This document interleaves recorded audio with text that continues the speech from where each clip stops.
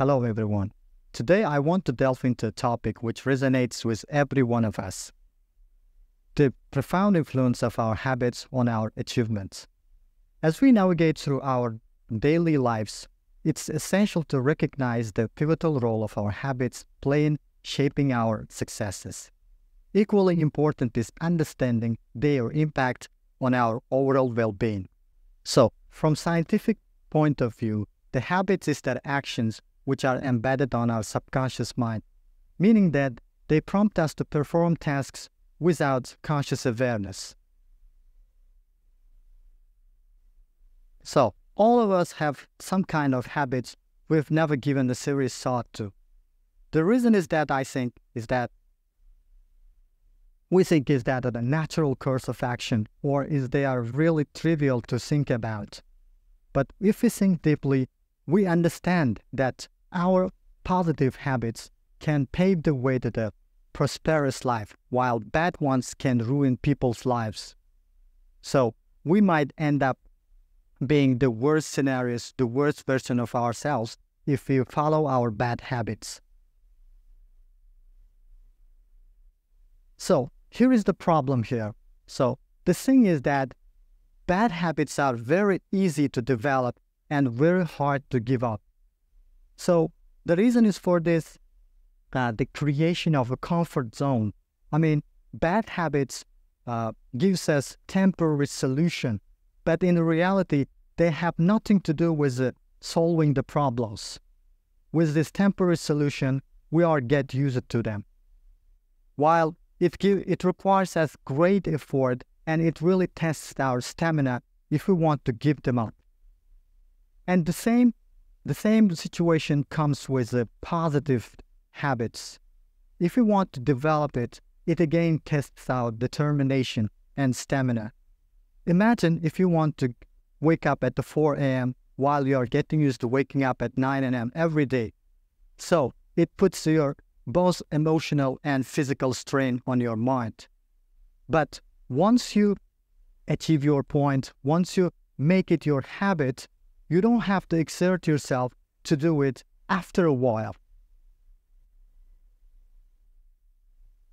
So here it comes another thing why we need our habit to consider. As you always hear, hear that consistency is a key to success. So Whatever you do repeatedly, it becomes consistency. The habit is what gives you that consistency.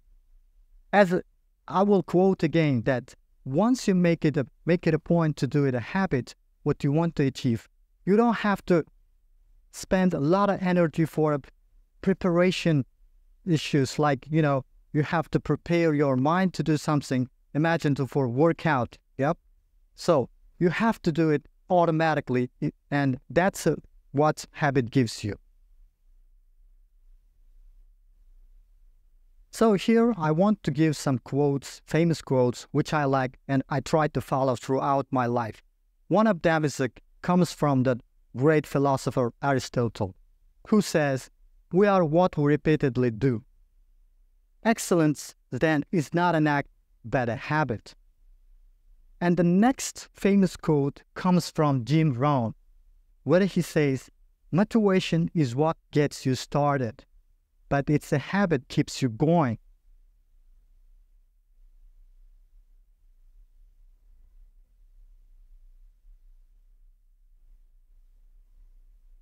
So here, uh, I want to share my own experience related to this topic.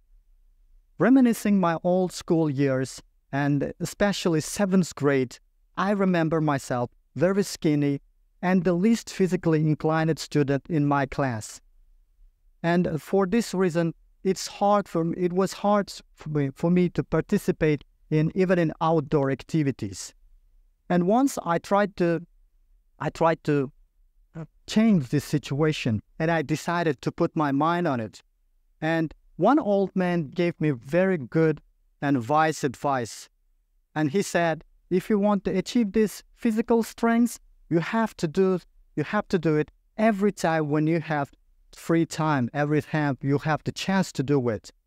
And then I simply and straightforwardly did what he said to me. whenever I had a time, I do some working outs. I hit the gym when I had a time, and I had and I didn't have the conditions. I did some press ups, push ups, and other kind of strenuous exercises. And when I started seeing that transformation on my body, it gives me more and more motivation. That's what habit gave me. And after two years, that hard work for, for me gave the results, and results speak for themselves. After two years, I became a CrossFit champion in my school at, at that year and got second place, uh, second place in arm wrestling tournament. I'm sorry. So after that, I decided that I use I apply this this this similar scheme for achieving four of my other goals, like learning new language or know, learning something new. The first thing I did always and do right right away is that setting realistic goals. And I try to, to do all efforts to develop a habit for, for my own goals at a time.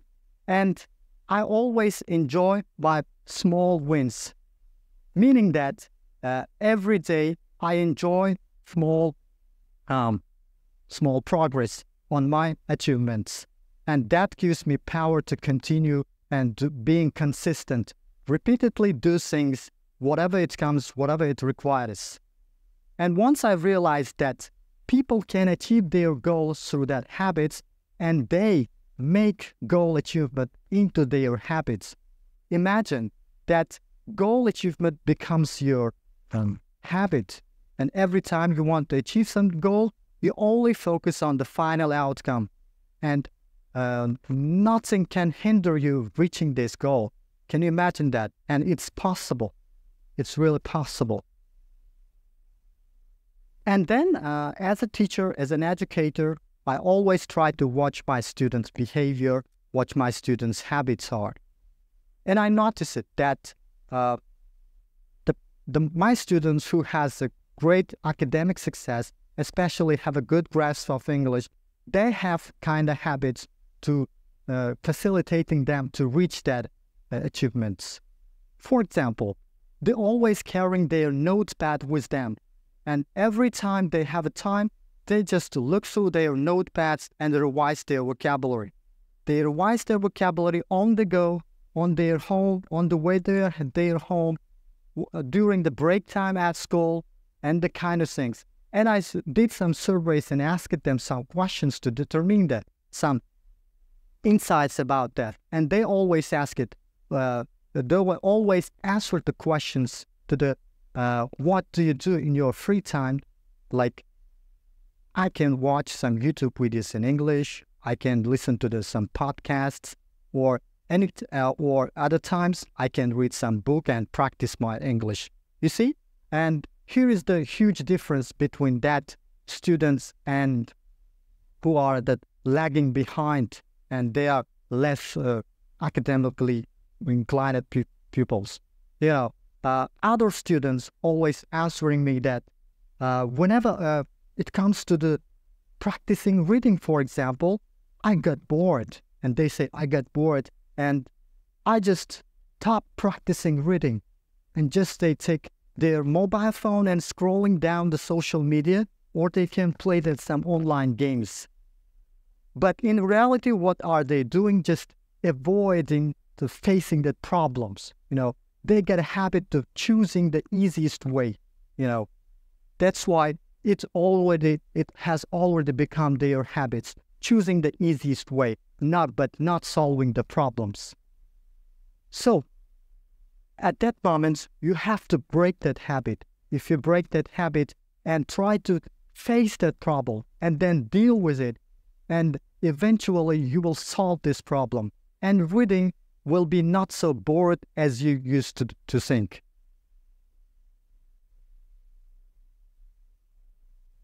Again, I have to do, uh, emphasize the problem with the uh, habit development. You know, as I mentioned uh, previously, uh, bad habits are really easy to develop and really hard to give up. But again, again, it's your own choice. It's your own choice. So develop your bad habits and make your life worse. Be your the worst um, version of yourself.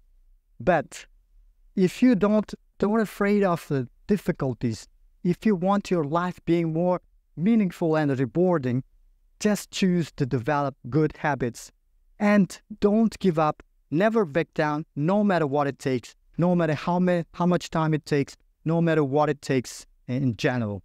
So, it will be your own choice. And in conclusion, at the end of my speech, I would I want to say that you if you want to thank yourself in the future, if you want to to proud of yourself in the future, please try to develop good habits. Try to give up your bad habits. Try to focus on your positive outcomes. Develop wh- whatever it takes that uh, please focus on your habits and take your habits seriously, no matter what it takes, no matter how much time what it takes. And I wish you good luck on this year attainment. Thank you for your attention.